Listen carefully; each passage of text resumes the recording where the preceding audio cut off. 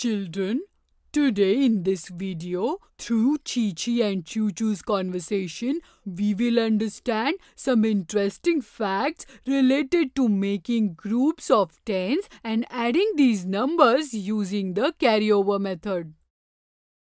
Hey Chi Chi, help me count these coins. Yes, sure, Choo Choo. In this pile of coins, there are 1, 2, 3 and 4 coins of 10 rupees, which is 40 rupees, and 3 coins of 2 rupees, that is 6 rupees. So 40 and 6, there are 46 rupees.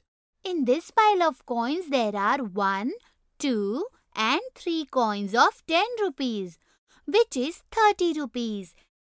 And 1, 2, 3, 4 and 5 1 rupee coins. So there are 30 and 5 35 rupees. So what is the total amount in both the piles of coins? To find that out, we have to write both the numbers in the ones and tens boxes. To add 5 to 6 in the ones box, count after 6. That is 7, 8, 9, 10 and we will get 11. Well done. So 11 means 1 tens and 1 ones. We will write 1 ones in the ones box and carry over 1 tens and write it this way in the tens box. Well done. Now in the box of tens, adding 4 and 3 will make 7. Hey, Chichi, you did not count the carryover written in the tens box. Oh, ho, I made a mistake. Adding the carryover 1 in the tens box to 4 makes 5 and adding 5 and 3 makes 8. Now you counted right.